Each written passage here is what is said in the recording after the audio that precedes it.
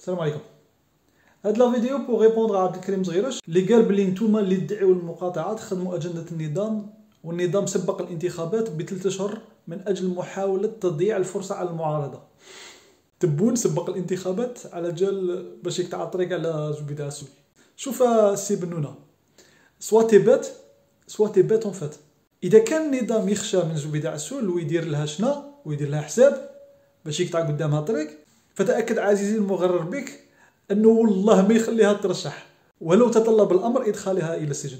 لو كانت زبيدة عسول تمثل un danger للنظام ما يديرلهاش la promotion gratuite ويديرها في la une تاع جريدة ال DRS أما عن ثلاث شهور اللي تكلمت عليهم وعن الصيف هذه كلها حجج واهية يستخدموها الجياح أمثال موسى تواتي ورباعين وهلم جرا من الأقزام لما يخسروا. المعارضه اللي تحتاج لثلاث شهور باش تنظم ماشي معارضة. هي خويتمه في يد النظام يلعب بها كيف يشاء. إذا كنت ماشي قادر واش داك الغرام اللي حزقك؟ ولما تقول معارضة وين كان زبيدة عسول معارضه امرأة حقوقية عندها مواقف نعم بصح معارضة ما شكيتش. إذا كنت تحكي على معارضتها لبوتفليقه ويحيى وقال أنا مع الحراك. إذا كنت تحكي على معارضتها لتبون تبون زايلة وتزول.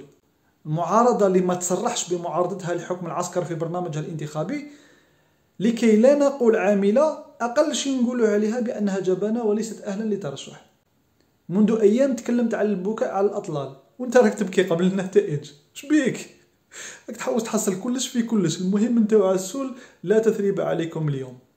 قال لك العدميين يروجون الانهزام قبل المعركة. تخيل شبر قبرص تدخل في حرب مع الصين. النظام يمتلك أرض المعركة يسيرها كيف يشاء. واللي ما يعجبهش يدخلها الحبس يكارتيه من أرض المعركة. كما قاضي إحسان ومحاد قاسمي. فكيفاش راك باغي تعافر وانت بلا سلاح؟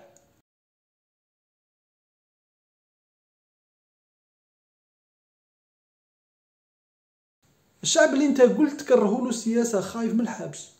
وانت غير منظم أصلا راك نهار كامل وانت انضموا انضموا كما عصابه الرداء الأبيض. لتحقيق أحلامكم انضموا إلى جيسي. جيمس.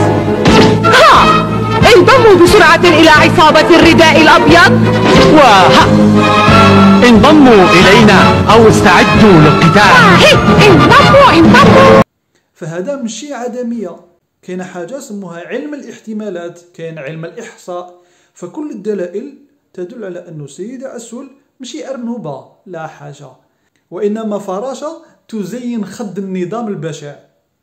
وعندنا مرأة بين قوسين معارضة تنافس مرشح السلطة اللي عطى رونديفو لماكرون شهر قبل ما يفوز الانتخاب.